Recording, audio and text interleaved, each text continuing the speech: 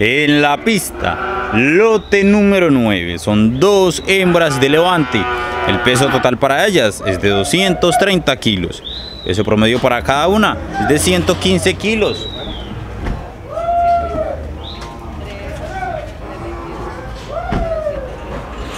Procedentes de Puerto Nare.